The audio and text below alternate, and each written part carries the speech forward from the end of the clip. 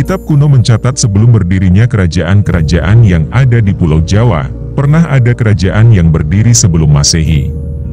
Kerajaan ini berlokasi di daerah Singosari, Malang, Jawa Timur.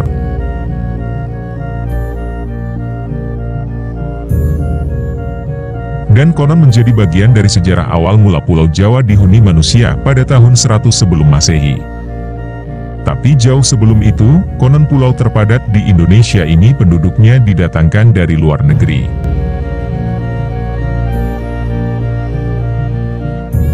Hal ini berdasarkan pada beberapa sumber kuno yang dikutip dari buku Babat Tanah Jawi yang ditulis Soejipto Abimanyu.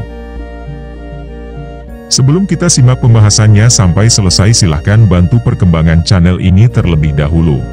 Dengan menekan tombol subscribe dan loncengnya. Mari kita lanjut pembahasannya sampai selesai dan jangan di skip supaya kalian paham pembahasan kali ini. Selamat menonton. Sumber kuno mengisahkan para penghuni ini berasal daerah Turki, tetapi ada yang menyebut berasal dari daerah Dekhan, India.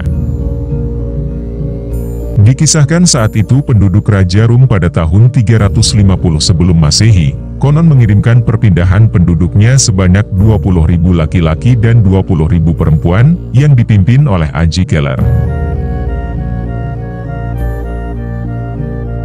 Pengiriman ini konon merupakan misi kedua setelah misi pertamanya pada tahun 450 sebelum Masehi gagal.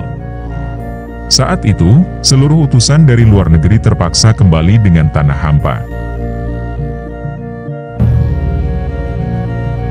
Saat misi pengiriman kedua itulah, Pulau Jawa yang konon bernama Nusa Kendang ditemukan sebagai pulau yang tertutupi hutan. Dan Pulau Jawa saat itu dihuni oleh berbagai jenis binatang buas, dan tanahnya datar ditumbuhi tanaman yang dinamai Jawi.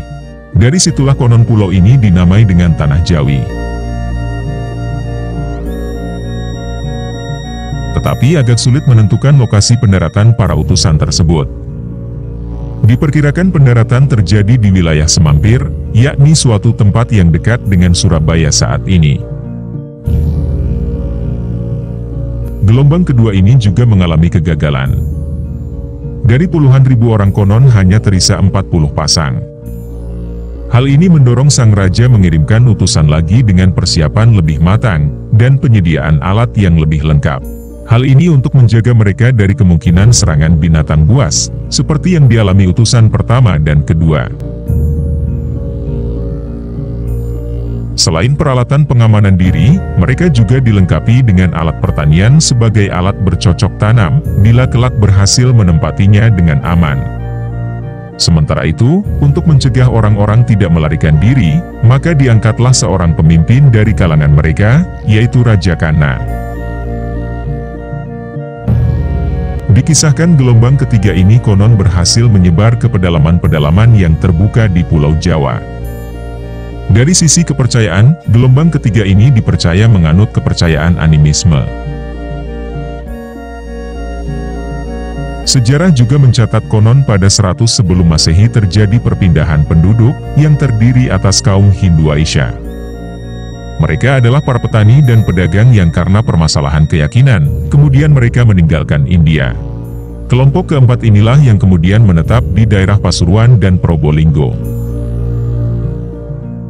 Kemudian mereka secara perlahan membuat koloni-koloni di bagian selatan Pulau Jawa, yang pusatnya terletak di Singosari. Ketika di Singosari, siapa yang memimpin memang tidak jelas. Tetapi ada naskah yang menyatakan adanya ratu yang memegang kekuasaan di daerah Kedi, namanya Nyai Kedi. Singgasana kerajaannya berada di Kediri.